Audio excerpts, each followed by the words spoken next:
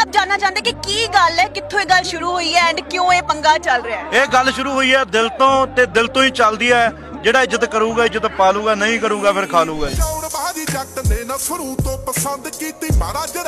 ਉੱਥੇ ਬੰਦ ਕੀਤੀ। ਉੱਪਰ ਹੈ ਬੰਦੇ ਨਾ ਬਹਿ ਕੇ ਪਾਣੀ ਵੀ ਆਪਣ ਪੀਤਾ। ਯਾਰਾਂ ਚ ਦਲਾਸੀ ਕਦੇ ਲਾਉਣ ਚ ਨਹੀਂ ਸੰਦ। ਸਾਡੀ ਨਾਲ ਬਾਤ ਹੋਣਾ ਤੋਂ ਇਹ ਲੱਗ ਬੱਲੀਏ।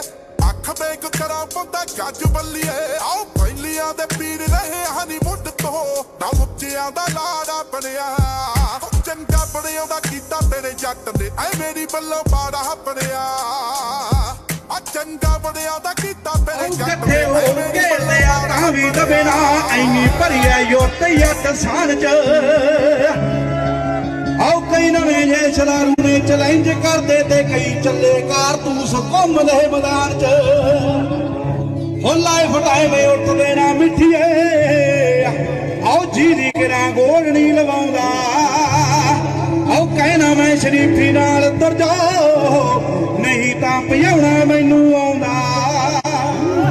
ਉਹ ਕਹਿਣਾ ਮੈਂ ਸ਼ਰੀਫੀ ਨਾਲ ਤੁਰ ਜਾ ਨਹੀਂ ਤਾਂ ਭਜਾਉਣਾ ਮੈਨੂੰ ਆਉਂਦਾ। ਨਾ ਕਿਸੇ ਨੂੰ ਪਸੰਦ ਐਟੀਟਿਊਡ ਜੱਟ ਦਾ ਆਓ ਕਿਸੇ ਨੂੰ ਪਸੰਦ ਨਹੀਂ ਉਹ ਥਾਪੀ ਜੱਟ ਦੀ ਉਹ ਨਾਲੇ ਸਾਡੇ ਨਾਮ ਤੋਂ ਆ ਧੂਆਂ ਮਾਰਦੇ।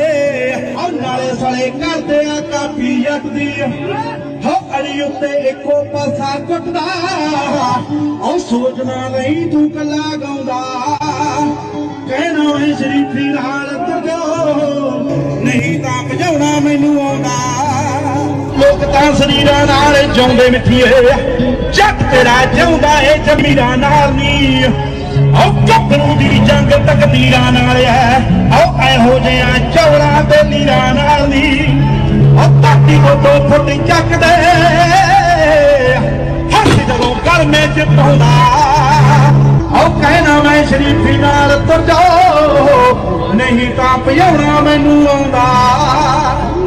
ਉਹ ਕਹਿਣਾ ਮੈਂ ਸ਼ਰੀਫੀ ਨਾਲ